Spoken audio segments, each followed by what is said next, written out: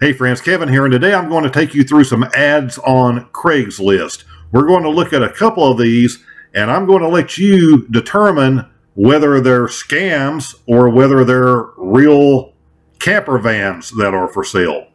Now, we could use any vehicle for an example, any kind of van, any brand that you may be looking for, or any other vehicle that you may be looking for as far as doing van life, but I'm going to use a Roadtrek as an example. If you follow this channel, you know I have a minivan. I also have a Roadtrek. And as a matter of fact, my Roadtrek came from a Craigslist ad. But you have to know what to look for so you don't get burned by some of these common scams. So let's get right into this. So we're going to do a quick search here. I'm doing 100 miles from this area of Tennessee that I'm in, and we're just going to type in Roadtrek. You know, there's a 2005 model for $57,000 because Roadtreks can be expensive. Any of these custom vans are selling right now for about $130,000 new decked out. Here's one 15 years old, 57,000, but look at this one over here. A 1998 model, which is actually newer than mine, for $1,400. So let's take a look at this real quick. See, see how this appears to us. It's in West Knoxville. Now, I did this search based out of East Tennessee. Roadtrek Class B 200 model they make a 170, a 190, and a 210, but they also made some 200 models, although they're a little bit rare. Low miles, still looks new, Chevy chassis with a V8.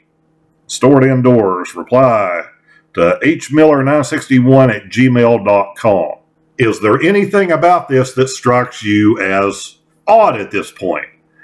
I can tell you what strikes me as odd at this point one is looking at these pictures because I can't tell.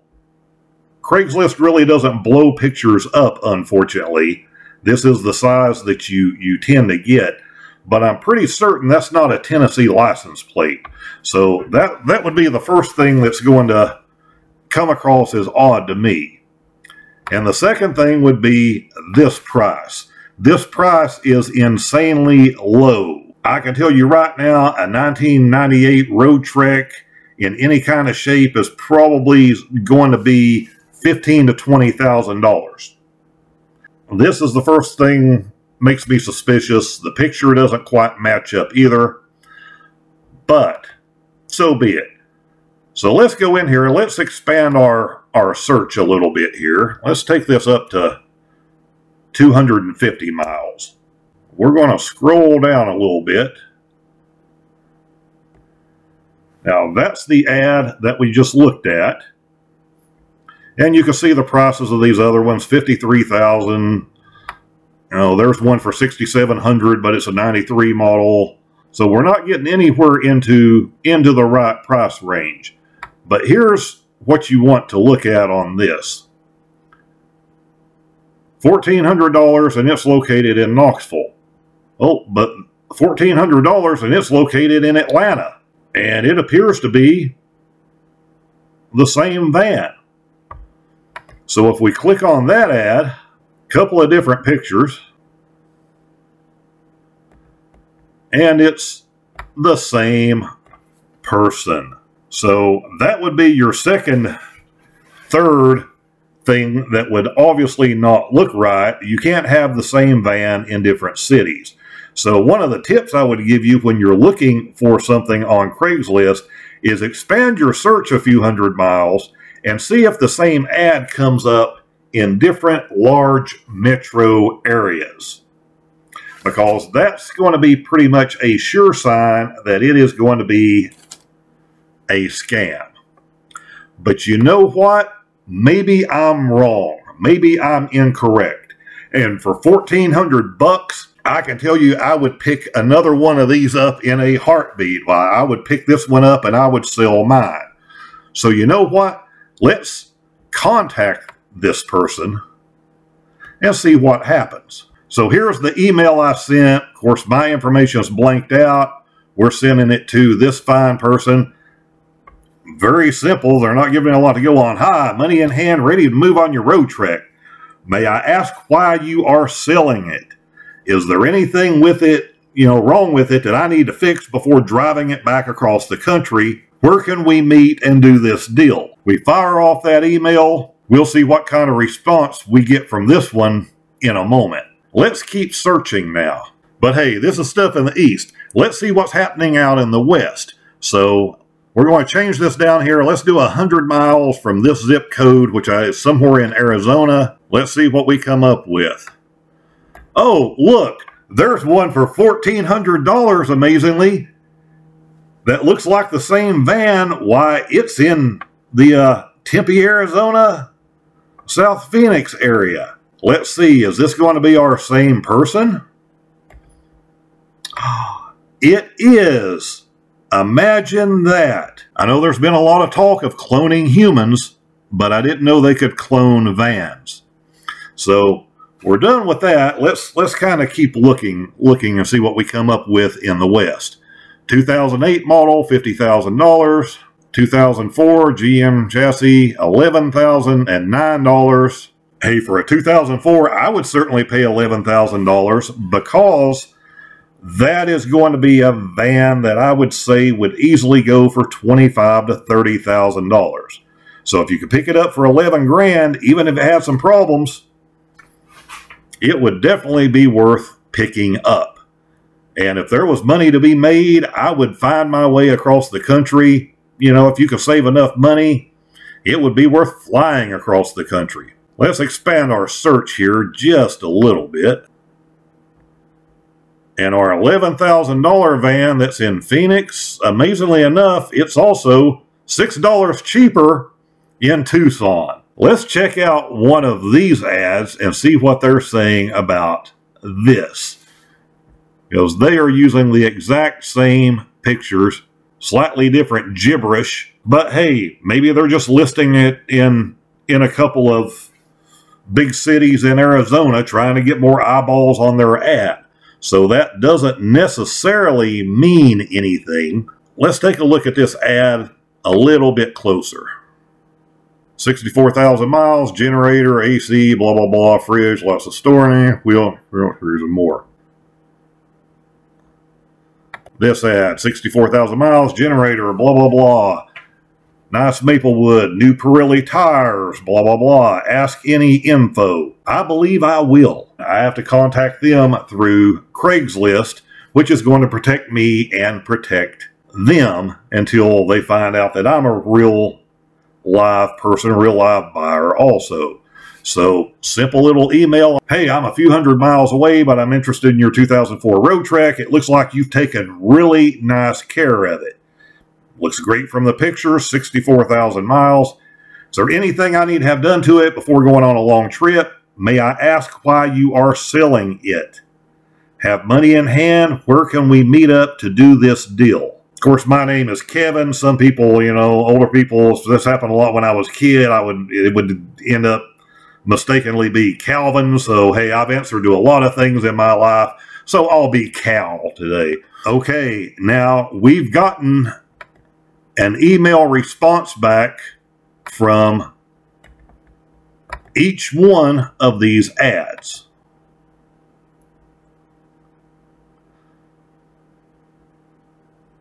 This $11,000 one, which would certainly be a steal. Let's see what kind of response we got. And here's their response.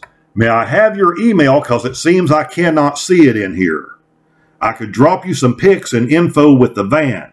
Yeah, you could do that, or you could simply have replied with the answers to the questions that I asked, which you didn't do. And seeing this ad in a couple places, am I certain this is going to be fraud? Yeah, 99.99%. They're going to try to take me out of the Craigslist system, get my personal information, starting with an email, and of course, they're going to ask for some more information too.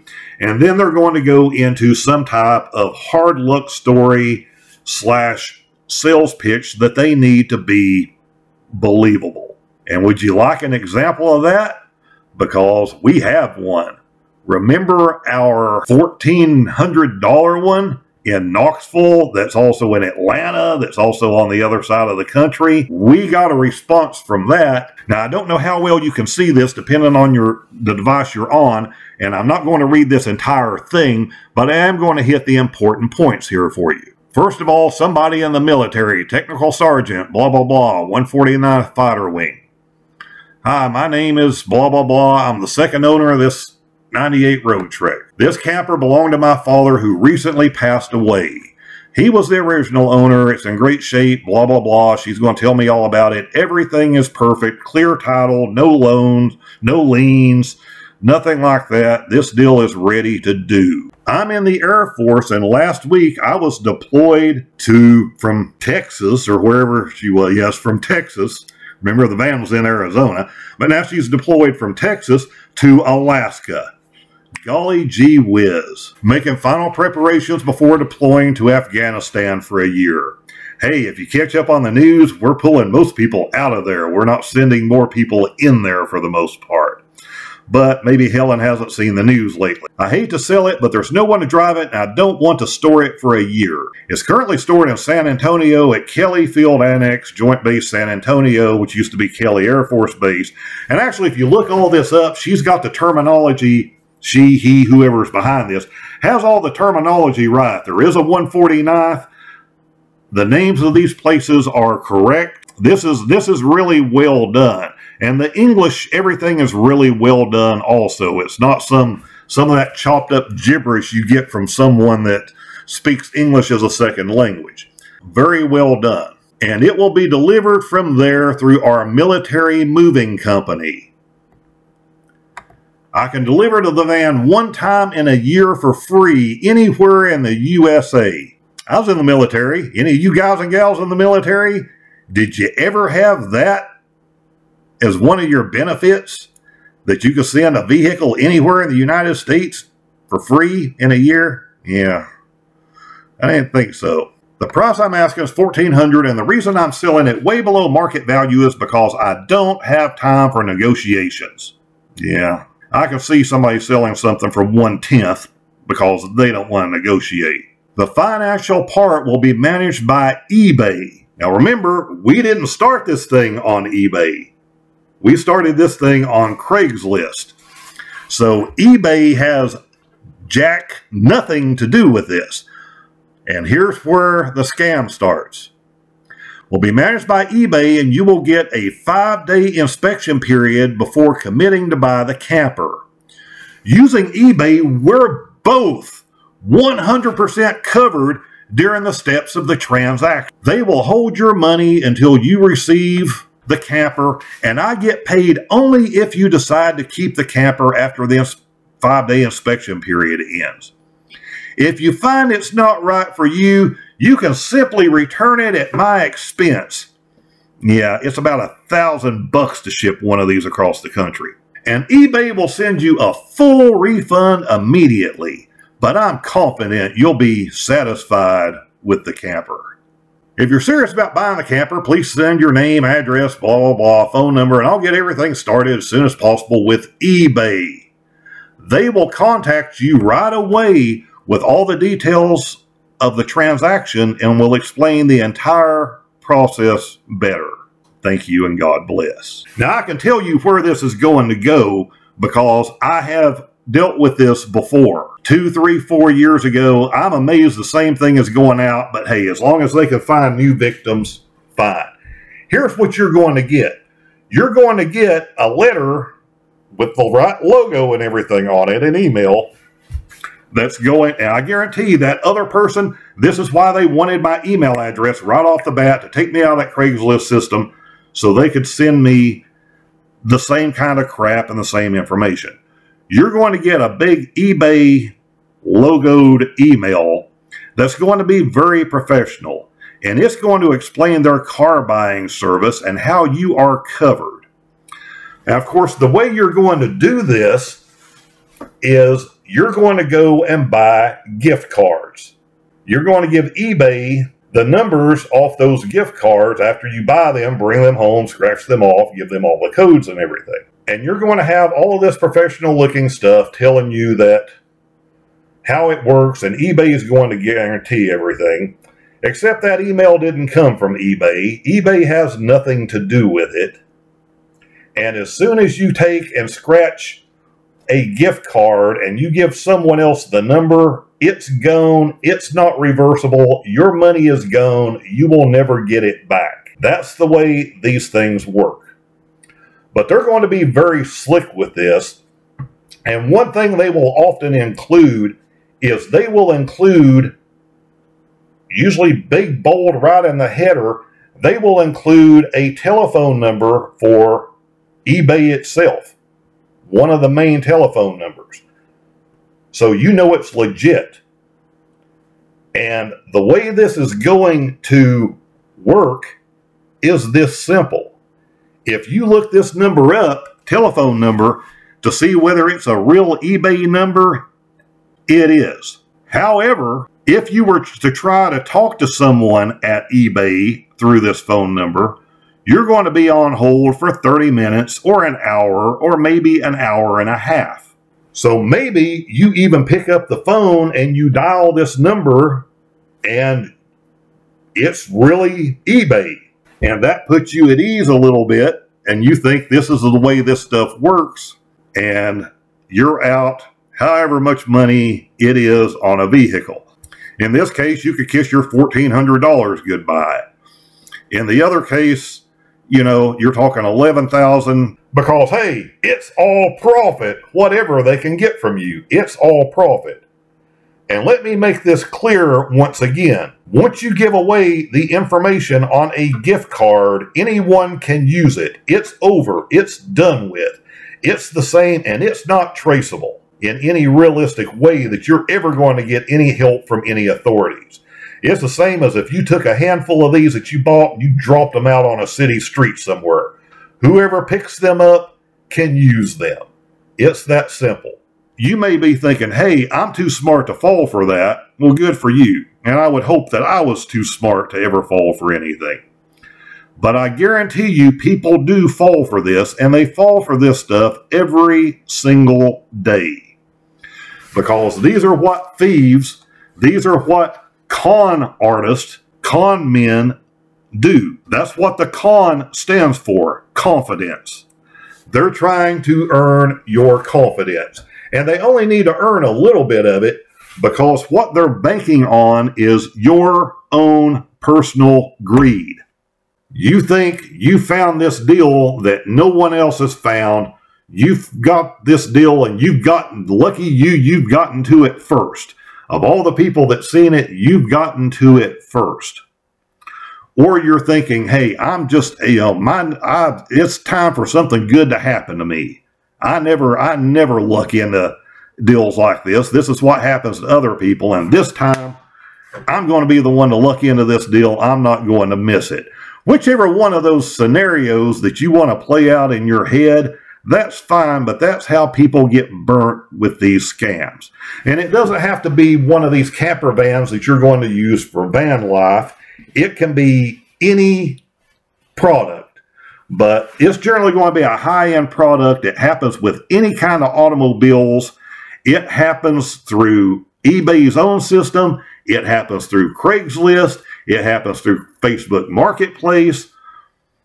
It happens through all types of things online. Does that mean you shouldn't buy a vehicle online? No, it doesn't. I've bought several vehicles online from complete strangers, and I have come out fine every time. But I did my due diligence and I did my inspections in person, and that's the way it ended up working out. You know, there's so many voices that go off in people's heads, mine included, when you run across something that you think is just going to be some great, awesome deal. It's human nature, and that's what any of these people play on. You're my, whoever's human nature. And especially people like myself, people like you, who are good people, good hearted people, and we want to see and believe the best in everybody.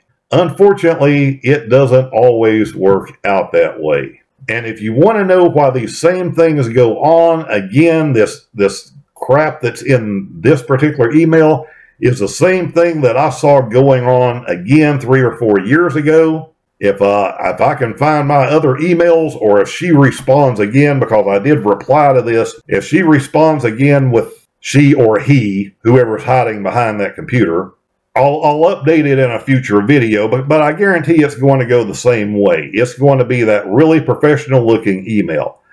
And for those of you that don't know a lot about computers and the internet and, and different things, that's all right.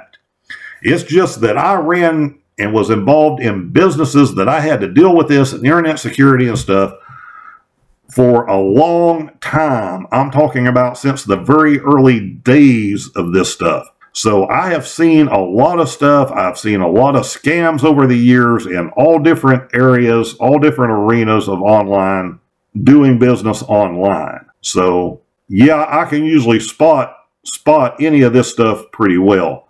But again, if you just stick to the basics, if you find something that looks like a deal, it's too good to be true, expand that search area, see if you're finding that listing more than once.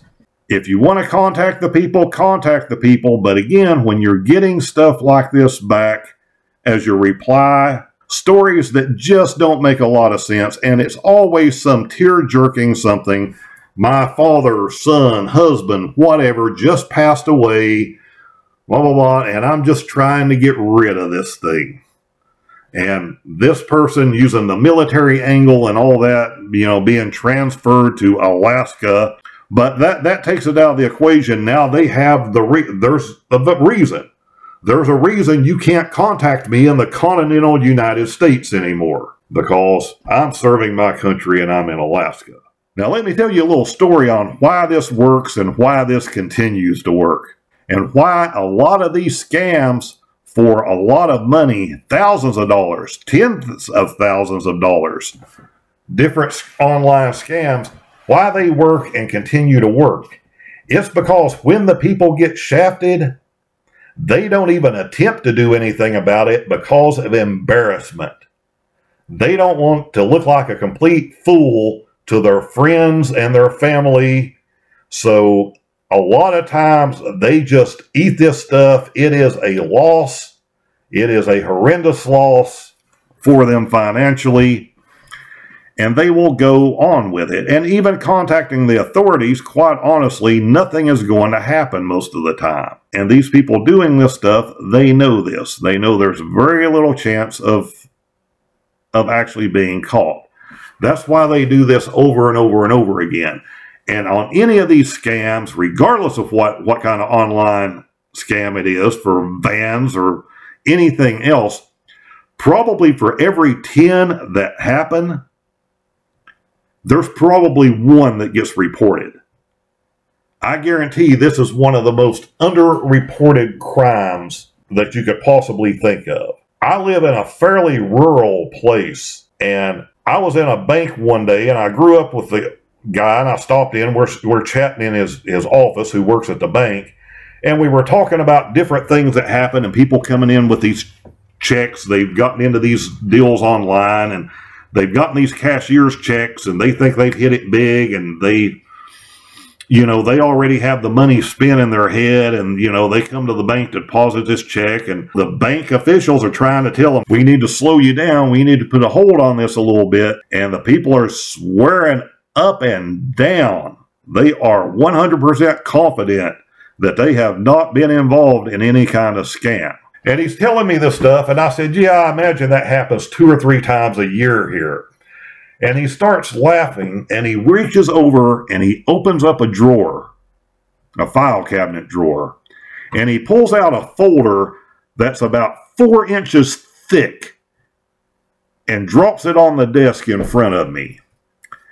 And he said, That's in the last six months. Now, again, this is a small rural bank in a town of a few thousand people, and that many people have gotten involved, have been involved in online scams.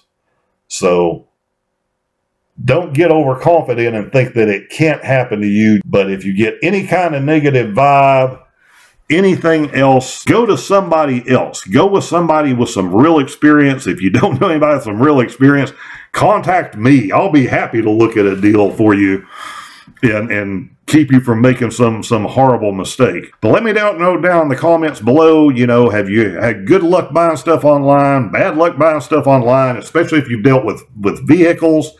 Do you happen to know someone that's gotten in involved in one of these scams and lost money? We can all learn from each other a little bit. And also let me know down in the comments if you want me to do updates and other videos like this and show you other examples of online scams and ways people can lose money when they're trying to buy, again, their van life dream van or any other any other type of vehicle. And we'll talk soon.